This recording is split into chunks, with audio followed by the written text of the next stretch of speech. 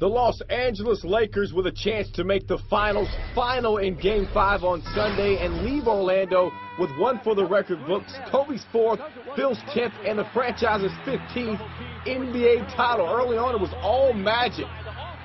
Off the steal, Rafer Alston's going to convert.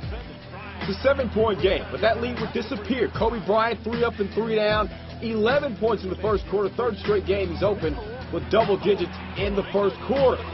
Mickael Pietrus answering on the other end. Orlando up by three. Second quarter we go. Dwight Howard was in foul trouble in this game. And when he played, he was pretty effective down low. Tony the T to Dwight. Down low again. Only 11 points and 10 rebounds in this game.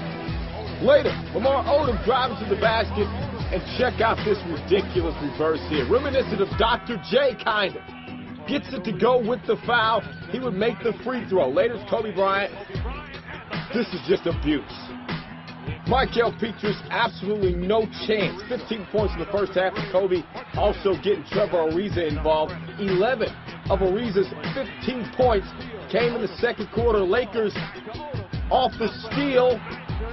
It's Lamar Odom capping a 16-0 run. LA up by 12, led by 10 at the half. Third quarter, more of the same for Odom. Three up and three down from the corner. You don't believe me? Here it is again.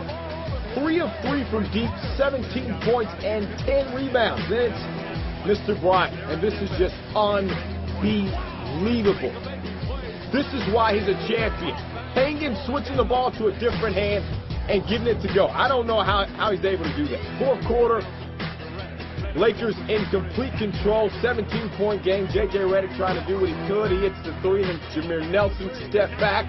Buckets there. The lead down to 13. But the Lakers have a guy named Kobe Bryant, and he's an assassin, if you don't know about it. 30 points for Kobe as he earns MVP honors, and his Lakers cruise to their 15th NBA title, their first in seven years. Bryant gets his fourth, his first without Shaquille O'Neal, while Phil Jackson gets his 10th, now has more than any other coach, surpassing the great Red Auerbach for the most in history. The Los Angeles Lakers, your 2009 NBA champions.